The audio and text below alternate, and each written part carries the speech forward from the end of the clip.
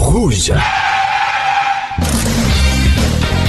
مرحبا بكم يا جماعة. آه لازم باش تلقاوني. شادة الغون بوان. ويا ويلو اللي يحرق الفروج يتشد ولا تنفع معايا رشوة. لا عشور ولا خموس.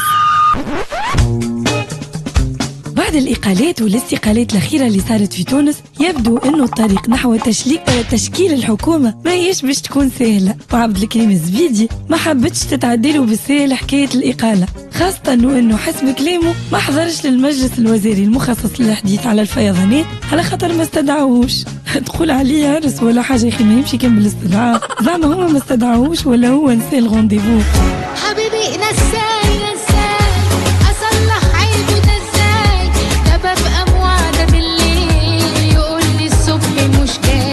جاي كالعادة سي زبيدي شعاره نلعب ولا نحرم. وزيد قال خليوني ساكت خير. وقلبي عم يشكي. لما بدي ابكي عيوني اللي عم تحكي. أنا ساكت. جد عليكم الزبيدي سكت. تدوب تمسوا تسمع حسوا قال مش كرينا ما حضرتش. فما برشا قاعدين يغيبوا. ها جيتو كان علي أنا. وسمير الوافي كتب ستاتيو على زبيدي وقال له تصرفاتك صبيانية وانت خرجت من الباب الصغير. بس استحي عشايبتك يا عيبك يا عيبك وحاش تقلل هايبتك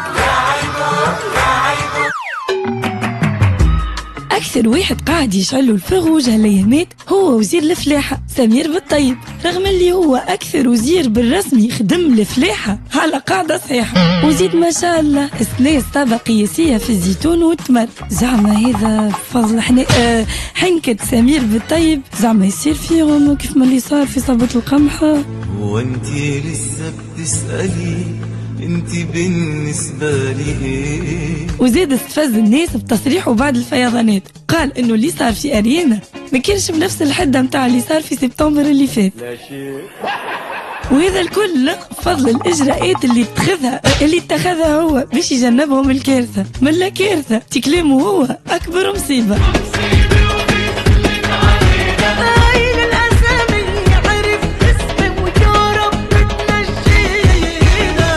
تنجينا وفوق من هذا الكل؟ قال لك سمير بالطيب قدم ملف للصندوق الوطني للتقاعد والحيطة الاجتماعية يطالب بجراية 4 ملايين في الشهر. وليزانترنوت ما عجبتهمش الحكاية خاصة بعد انجازاته ما شاء الله الكبيرة. أنا يظهر لي ظلمتوه من حقه ياخذ جراية أه، جراية باش يزيد يرقد في عقله. نم يا صغيري نم بسلام. نم وستصحبك الأحلام الفروج شعل لسامي الفاري بعد قرار تحجير السفر عليه. وكالعادة سامي وين ما يحس روحه تخنق يفرفد ويطلع بحكاية. وهو المرة هذه باش يجيب سلسلة حلقات تحكي على النهضة. قناة الحوار التونسي تقدم سلسلة حلقات حول علاقة النهضة بالمال. تفكيك لغز تمويل النهضة والدور المحوري لعائلة الغنوشي. هل كانت كل العمليات تتم في إطار القانون والشفافية؟ هل كانت تخلو من الفضائح الأخلاقية والقانونية؟ كيف تتحكم عائلة الغنوشي في القرار داخل النهضة؟ المسألة الديمقراطية داخل حركة النهضة الجزء الأول تجاوزات رفيق بوشلاكة أو عندما تمول وزارة الخارجية جلسات خمرية وقفاتين وفي انتظار الشونتاج والتفاهم والتراضي اللي باش يصير شعار سامي الفاري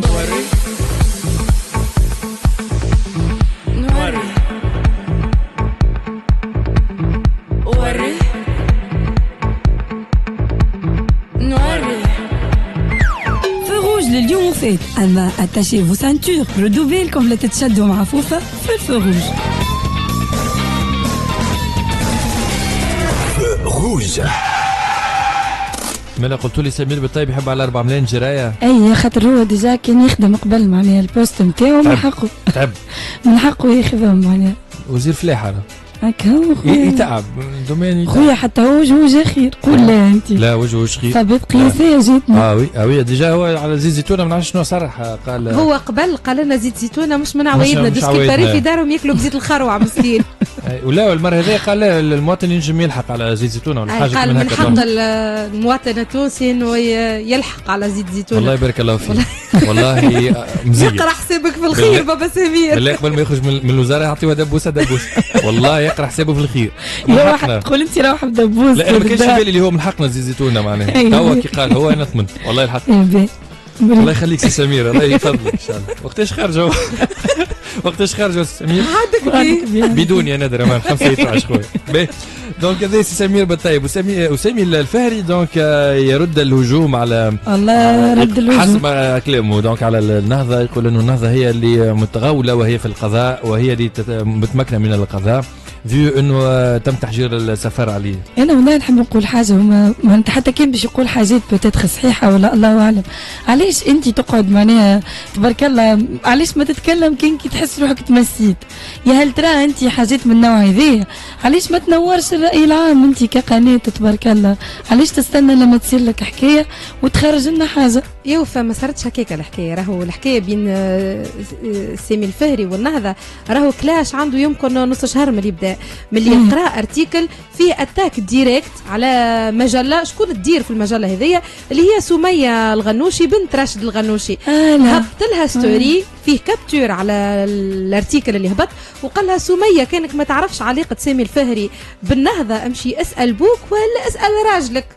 دوسكي باري سميه ما عملتش في حسابها العلاقات بين آه، النهضة وسامي وإلا النهضة من الأول ناوية تنقر سامي وهذايا اللي صار كما نراو الجمعه هذيا إنه آه، يمكن آه، فيها عندها يد بالحكاية والقرار منع السفر اللي آه، هبط على سامي ومرته والمدير وال... والإدارة نتاع كاكتوس.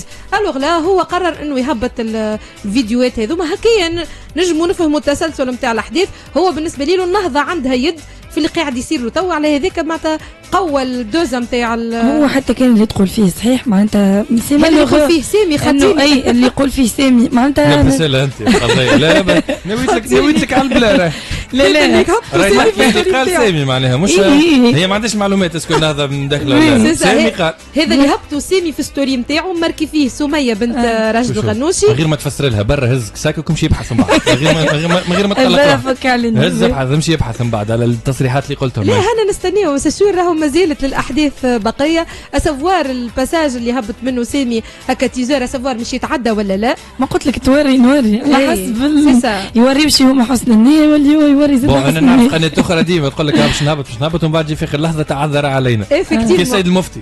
افكتيفمون حسيت الحكاية كي حتى أنا هكايا نحس هكاكا معناتها. تو تصير تو ليلة العشاء يجيب. en tout cas يرضى البطالة وما يجمعش الزيتون. effectivement هذه المشكلة اللي مواجهها الفلاح التونسي. توا الفلاح التونسي آه، شعل فروج كبير للبطالة التوانسة اللي قاعدين في في القهاوي اللي يمشي لهم يقرق بهم journée هم راهو مش شوية بين ال 35 و 40 دينار يقرق بهم باش يجمعوا صابه قياسيه من الزيتون التونسي.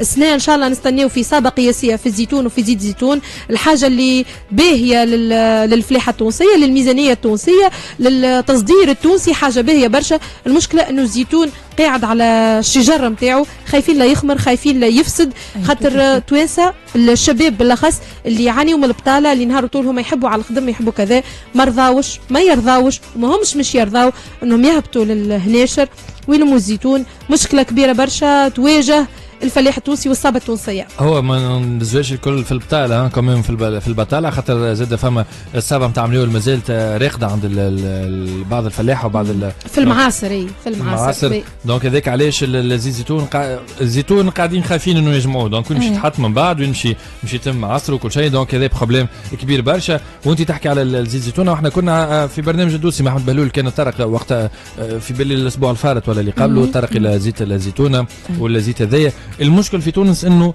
يتباعوا vrac.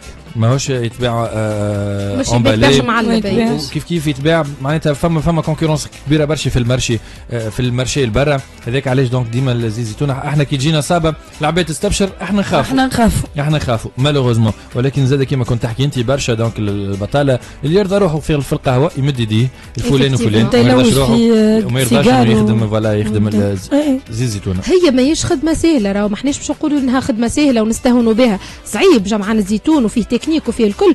أما quand même معناتها كي تعرف أنت للموسم هذايا لازمك من الأول تحضر. معناتها نحكي على الفلاح. كي تعرف من الأول الموسم نتاعك باهي وتعرف عندك كذا وعندك كذا من الأول حضر الخدامه نتاعك وحضر شكون باش يجي مع الزيتون خاطر الزيتون حاجة إذا ما تجمعتش راهي مش تعدم على ال... على الشجرة نتاعها معناتها تخمم وين مش تخزنوا هكا ولا هكا لازم يتلمد. ما يهونش يتلوح معناتها. أنا نسأل علاش مثلا الدولة في الأراضي الفلاحية نتاعها وكل شيء أنا علاش ما تقسمهمش كل عام؟ مثلا تجي مجموعه من الشباب أي سيدي أنت عندك ال partie هذه يا خويا تجمعها تريقلها تخلص عليها وتنده علاش هكا بجول معناتها كان نجم نخدموا قداش من واحد.